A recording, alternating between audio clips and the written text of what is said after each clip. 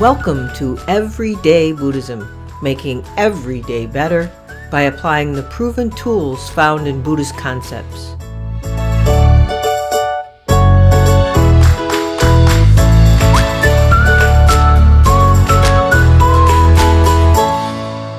Welcome to episode 38 of Everyday Buddhism, making every day better. This is a very special episode dedicated to our good friend and neighbor Jim, who died unexpectedly two weeks ago. I'm sharing a very personal reflection that started as a blog post, doing double duty as writing therapy for me to process the amazing range of thoughts and feelings that can come, you know, with loss and grief.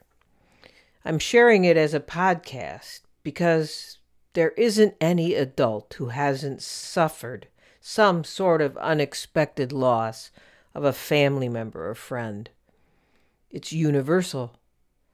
And it's the demonstration of our impermanence and the principle of life and the principle of the Buddha Dharma that we all try to find a way to accept.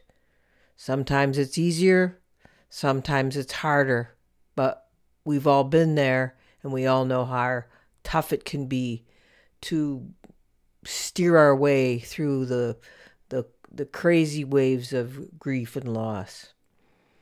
I'm also sharing it though because I talk about the importance of community through grief and through all our journeys in life.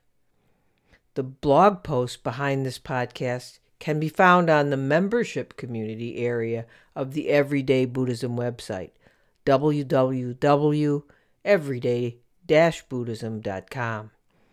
As I discussed in the last podcast, we've been working hard on building an integrated membership community for those that might want to explore beyond just the public Facebook group and or who aren't able to join the everyday sangha. This membership community is now live thanks to the partnership and support of one of my Bright Dawn Center of Oneness Buddhism lay minister colleagues, Levi Shinyo Walbert.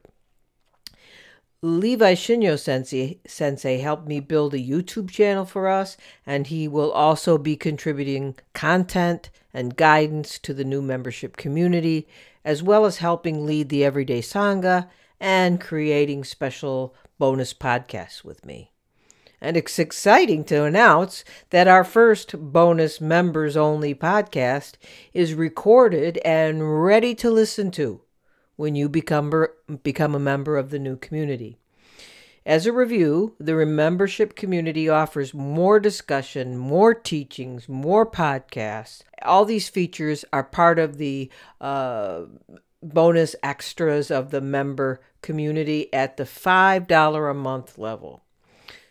Some of the extras are one special bonus podcast for members members only that will not be public. By the way, we already have one up there for your listening pleasure right now. Um, number two, two blog sections with articles, blogs, and Dharma glimpses from Sensei's Wendy Shinyo Haylett, that's me, and Levi Shinyo Walbert. Um, the blog post behind this upcoming podcast uh, that I just wrote is already up there. Links to private YouTube videos and live feeds on our new YouTube channel is the uh, third benefit. And the fourth is a private secret Facebook group for those who still prefer Facebook. And fifth, a member chat area on the membership community page of the Everyday Buddhism website where you can be part of the exclusive members only chat. And on that chat, you can actually ask questions so that they can be featured on a regular Ask Me Anything podcast.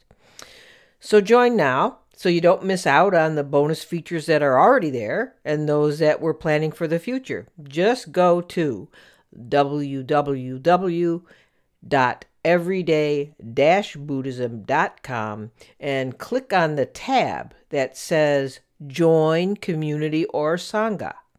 From there, you can join the membership community and or the Everyday Sangha.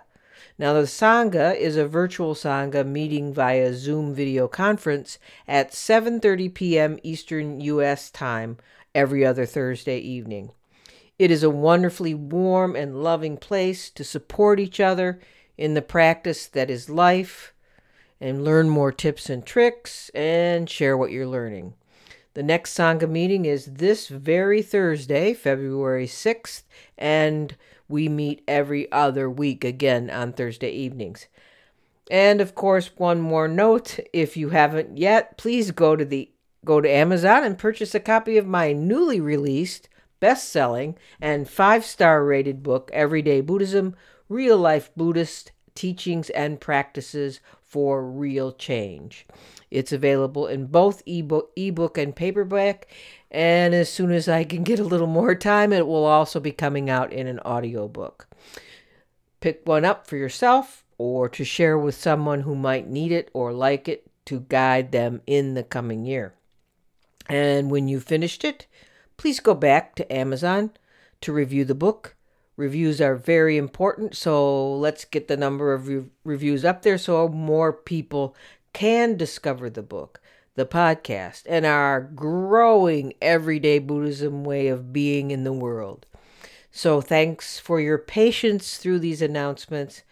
And now it's on to this brief, special dedication episode titled And Yet, and Yet. Our good friend and neighbor Jim died two weeks ago suddenly, unexpectedly, at 59 years old. You know, he had knee replacement surgery about three months ago, getting new parts and ready to go, ready to be more mobile in his second half of life. But he didn't make it to that second half. And honestly, it sucks. Death is, of course, part of the Buddhist impermanence I write about podcast about, and teach about. It's the first noble truth. Crappy things happen, and this felt particularly crappy. I was shocked. I was angry, and a whole bunch of other tumultuous emotions, like many in his extended network of friends and neighbors. And his family felt much worse. Because a husband, a father, a brother, a son, an uncle was snatched from them. I did metta practice and prayers the morning of his death, but I remained dazed with a mix of that anger and depression. Where to turn? What to do when death grabs one of our family or friends? For me, all I could do was to remind myself of what I knew was the first principle of life that everything dies and that nothing is certain. And then I let myself fall back into the currents of grief. And I kept repeating the haiku by Kobayashi Issa.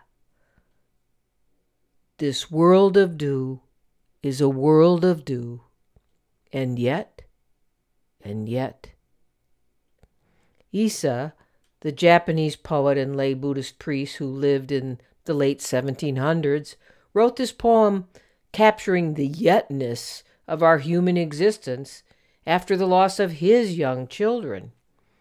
I've quoted Issa many times after a death, and that and yet and yet part expressed that feeling of, yeah, yeah, I know we all die and nothing stays the same, but it's crappy, it sucks, it hurts. It shakes you to your core, whatever your core is, or if we really have a core. Everything becomes so topsy turvy after a close death, a close loss. That and yet and yet express those moments of realization after a death, where all your theoretical balance of the teachings and impermanence tip and fall, falling on you revealing the very heavy weight of life's seeming precariousness. Mostly, we balance this realization of our own and others' impermanence like on the top shelf of a closet in a dark room of our mind. It's easy to forget it's there until a little shake of the closet tips it all over at your feet, and there it is. We read about life's impermanence, and in my case, teach, write, and speak about it, as if it only existed spilled on the floor outside of someone else's closet. But then, when the little shake spills it all out at our own feet, well, there's only, and yet, and yet. I had always thought of this and yet in the negative. As in, for example, in Issa's poem, he is firmly aware that the world is like dew. He knows this in his mind. In his mind, trapped in those boxes of concepts, precariously balanced on the top shelf of the closet in the dark room, until they fell at his feet. No longer concepts, but real, lived suffering. This is what the and yet and yet implied to me. But in walking through the first days after Jim's death, I became aware of another lived meaning of and yet. Not only the meaning of nevertheless it hurts, but also but yet. But yet. As in, there are other ways you can show up. There are other ways you can walk through the experience with an openness to this other part of yet, the part that asks you, What else can you do for family and friends? What else can you do for yourself and your loved ones to use this death for growth, for good? Our neighborhood is a suburban neighborhood that, in part, lives like a small town. We talk to each other and know each other's kids and extended families. We look out for each other when someone is sick or if there's an emergency. We eat together sometimes and celebrate events and even pick vegetables from each other's gardens. Following Jim's death, we, the neighborhood, met in driveways or in the street to hug. There was a crowd at Jim's house, a crowd of friends, family, and neighbors to support Jim's immediate family. You know, my partner and I had semi planned to go to Jim's calling hours when it was announced, but not the funeral service, which was held immediately after.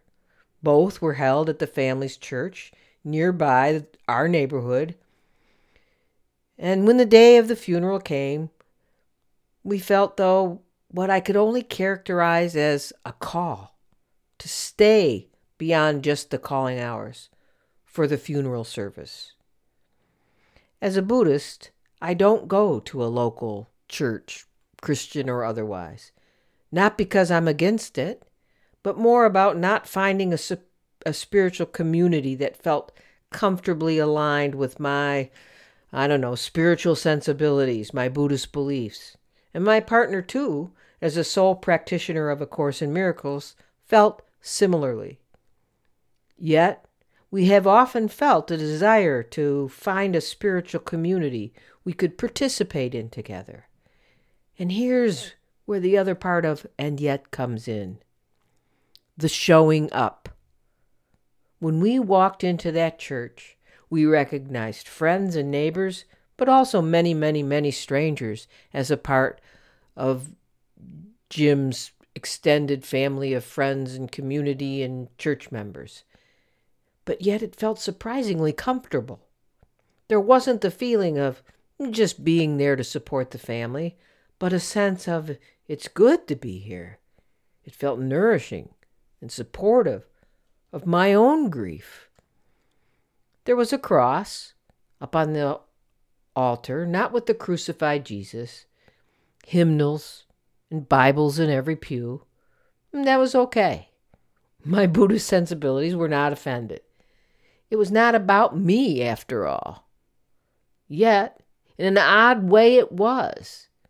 In the showing up, in the immersion of my own grief into that community of people, all just like me, but grieving in their own ways for whatever relationship they lost when Jim died.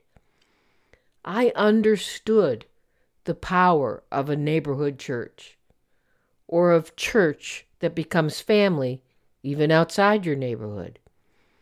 I understood the power of a minister that talks of gospels and the Lord's Prayer, not the sutras, and a congregation that sings hymns and not chants.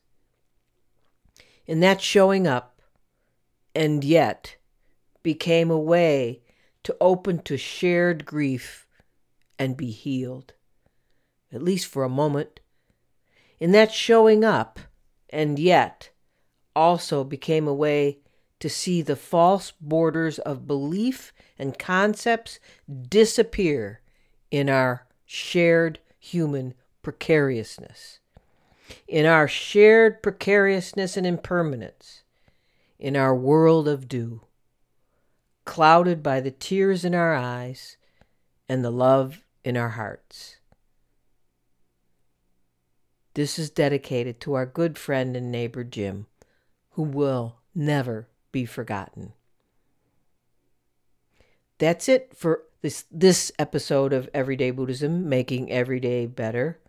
I hope you can find a, a way to build, contribute, or just participate in a community as support for the ups and downs in life. And go give your family and friends a big hug.